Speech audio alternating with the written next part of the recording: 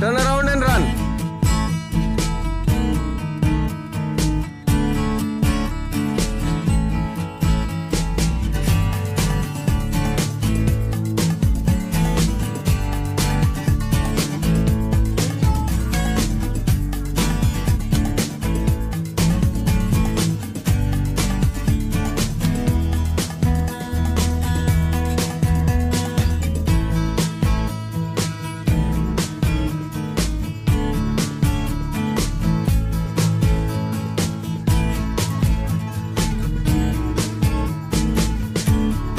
भी cooling down हो जाएगा।